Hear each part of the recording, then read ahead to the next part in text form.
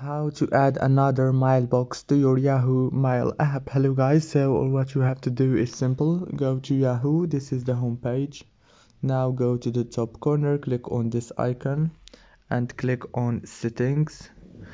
Now after you click on settings or what you have to do is click on manage mailboxes here the second option. Click on add another mailbox and it will take you to this page. As you can see right here you will find multiple mailboxes that you can connect to your Yahoo easily. If this video was helpful for you please don't forget to like and subscribe and thank you for watching until the end. See you in the next video